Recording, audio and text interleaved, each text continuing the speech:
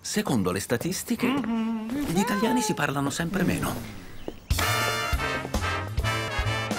Per fortuna c'è prosciutto di Parma. Poco sale, niente conservanti. Prosciutto di Parma difende la tua qualità della vita. Almeno a tavola. Scopri come su difendilaqualità.it.